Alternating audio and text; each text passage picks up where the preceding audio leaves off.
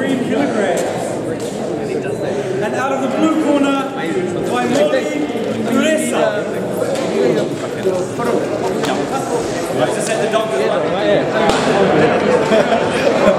Smiley, just saw you at the weigh-in.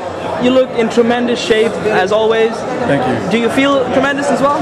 Yeah, yeah, yeah. Feeling good. Yeah. Yeah, ready to uh, have a crack tomorrow. eh? You've been fighting quite regularly. I mean, it, just keep it going, doesn't it? Yeah, yeah. Just trying to keep busy and uh, hopefully I'll get the um, uh, what, uh, some good rounds. Uh, good experience, you know, for the pro.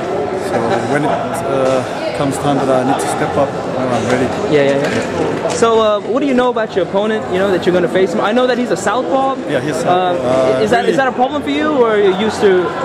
Yeah, yeah, yeah. Yeah? Not be a problem for me. Uh, he's a really nice guy. You Yeah. know? uh, he's really skillful. I've done the training.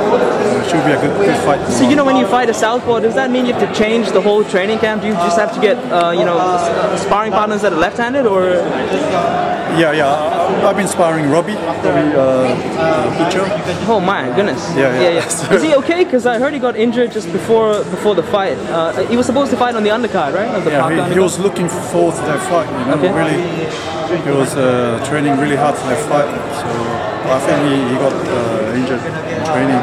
Okay. But you've been sparring some big names, eh? Yeah, yeah. he was fine. Uh, what about Nick the Greek? Have you uh, sparred him? Yeah, well? yeah. He's, he's always my sparring partner. Yeah. Nick the Greek, Butcher, and uh, David, David Nyika, the Thai brothers. David Nyika as well. Oh, Yeah, okay, David wow. Nyika, yeah. I, I sparred him on Sunday.